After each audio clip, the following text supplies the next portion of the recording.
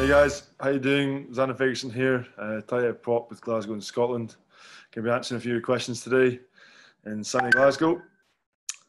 First question I got today is Who was your rugby idol growing up? Uh, for me, I was a number eight growing up, so I think, yeah, I liked.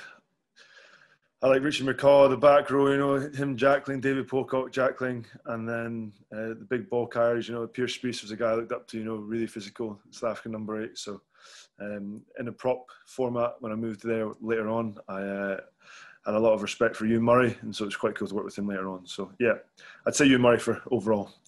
Um, second question I've got is best moment in the Glasgow Scotland top. Uh, for Glasgow, it was when we got to the final. Um, I know we didn't win, but it was pretty special having a home final in Glasgow at Celtic Park, which was to be part of. And then a Scotland top would be oh my first cap probably. Or, no, my first game with my little brother um, over in America. We didn't get the result either, but playing for Scotland with my little brother was pretty special. Question three I've got is: Is it true cows can't walk downstairs? I, I don't know if they can or can't, and they can't walk over cattle grid, so maybe. And can crocodiles really climb trees? Yeah, yeah, go for it. Maybe. No idea. Good question. Any tips on how to develop a good rugby player in a small country? Best thing for me would just be to do work on your basic skills. You know that catch, pass, work on your tackling technique. You know, foot in the hoop and all that, and um, make sure you wrap your arms. And then yeah, just keep enjoying the game and that will grow. You know, kicking and stuff. It's not my forte, but uh, I'll have a dabble in it when I can. Um, a few chip and chases back in the day at number eight, but not an eight prop. Um, so yeah, just keep enjoying your rugby and working your catch and pass, and play as much as you can. If you could play any other sport professionally, which would you choose and why? I used to do a bit of mountain biking, believe it or not, um, when I was a bit slimmer, and uh, I absolutely loved it. It was it was downhill, so the weight did help, but it was harder to stop as well. Um, but yeah, I'd love to do downhill, downhill mountain biking, give it a go. You know, I've got a few mates who did it, and got to see the world and stuff, and it's a pretty cool sport. So I definitely give that a bash in a different life. Maybe not after rugby, because I'll probably I'll probably be broken, but we'll see how I go. Great question coming in now. Night out, Ali Price or Adam Hastings? Well, first of all, they both would be on their phone and take so long to get ready that they're both probably not the best. But uh, I'll go, I'll go with Hasto because he's a good dancer and he thinks he's hilarious. Um, so he's always good fun. But they're both good guys and they're both good for a night out. What's the best thing about playing for Glasgow Warriors? Best thing for me is we have an amazing fan base and Scotland's such a great place to play. You know, uh, growing up watching Warriors and playing for your home club was massive for me, um, and something I still love doing. And I think uh, playing with my little brother as well is pretty special, um, even though he knows me most of the time. So uh, yeah, I'd say that one. Do you enjoy having your brother at the same club as you? Ah, funny question. Uh, I do. I love it. Um, it's great to have him.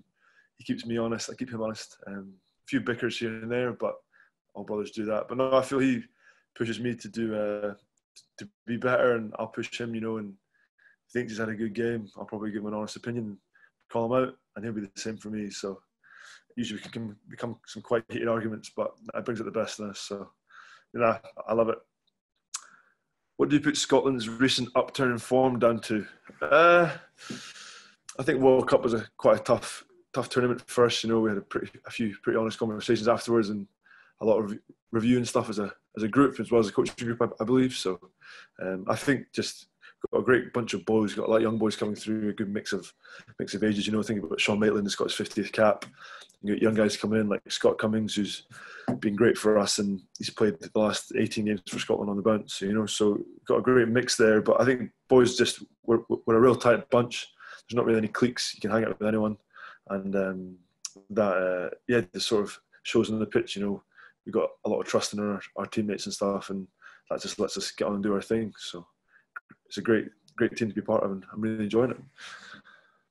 If you had to play for a Prem rugby club, who'd you play? Who'd you like to play for? Uh, it's a tough one. You know, we had, had some tough games against some good Prem opposition. Um, I loved playing away at Franklin Gardens. Uh, that was a really cool stadium, as well as playing down in Chiefs when fans were allowed back in. Um, before COVID was pretty awesome. It's a pretty cool place to set up, but I couldn't play with Hoggy again. And but uh, too much air gel. But no, oh, I think any Prem team, um, the one that pays the most. I'm only joking.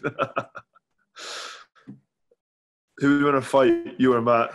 Ah, do I have to answer this? Um, yeah, I think uh, I think my, my, weight advantage might play into it. I used to fight him, my other little brother Greece, and my other, my other little brother Nathaniel. Um, quite often the trampolines would be three v one, and I used to come out on top. So maybe not now. My, the, the, other two as well as Matt are a lot bigger, but uh, I'd back myself. Is the try scored against Italy the greatest try ever scored in the history of rugby? Maybe not the history of rugby, definitely my favourite in my career. Um, yeah, I just couldn't believe I got it over the line. I'm so glad I put it down. Um, Scott Cummings was like screaming at me, "Put it down, put it down!" And eventually, I, I listened and got it down. But laughed about it after the game. Like, head coach was like, "You're lucky you scored that, otherwise you'd be dropped next week." No, I didn't. How can Scottish rugby nourish more talent from Perth on Perth northwards? It seems they focus on Glasgow, Edinburgh, and the borders.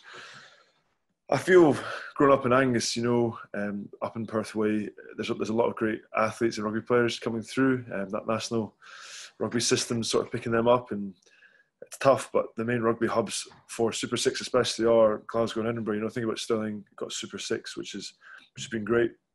But um, yeah, I think just I think there's still the the talent pool for Scotland is definitely bigger than it used to be. There's a lot more coaches going out there, and even thinking about when I was growing up, there wasn't a specific like a high development gym program in Dundee area. You had to go to Stirling for your sessions and stuff for Institute of Sport, and now they've got a specific one in Dundee, um, which is great and it's an awesome facility. So having been there, done a sessions before I joined with Glasgow, it's great to see so many boys there. So I think you'll definitely see a lot more um, Northerners playing for Scotland. Hopefully, um, definitely from Angus, the best place in the world. What, will, what would it mean to you to make it onto the Lions tour? Ah, I'm not thinking of that just now, but um, yeah, it'd be pretty awesome. I'm not gonna lie, I'm not gonna lie, lie to you, but uh, I'll just keep doing what I'm doing, focusing on my on what I can control, and we'll see how we go. You know, um, main focus is playing well for Glasgow, then playing well for Scotland, and if it comes, it comes. But I'm not putting my whole season on that because if it doesn't come, I'll be pretty good. So we're getting there. And then the last question I've got is rate the hairstyles of Oli Kebble, Aki Seiuli, and Tom Gordon in best to worst order. Uh, I'll go Tom Gordon for me is the best. Um, yeah, just suits him all that down to a T, you know. Um, crazy Kiwi, um, sun boy as well, and the luscious locks. He's been growing up for about three years, so it's good to see it actually come through. Um, and yeah, just suits him down to a T, you know, proper, um, proper hillbilly. Absolutely love it. Ollie maybe second. Um, yeah, the big, the big man. He's kind of hard to miss that bleach blonde locks, you know. Um, but uh, but yeah, fingers crossed doesn't die again because he's he's quite, he's quite a good looking brunette. But we'll leave it at that. Aki, yeah, I don't know what he's playing at. Um, he's got spaghetti hair. Um, I think he dyed it himself. He thinks he's a great barber and he's absolutely hanging. So he's done a few of the boys. Probably the worst phase I've ever seen. But nah, he, he's all good. But yeah, maybe not. It helps. It helps. It helps you stick out to the ref, which I don't know why you do it, but I'll get my black scrum caps if he wears it. Cheers, guys. Thanks for your questions. Really appreciate it. And uh, yeah, have a great Christmas. And uh, hopefully, you guys can get to the game soon. Cheers.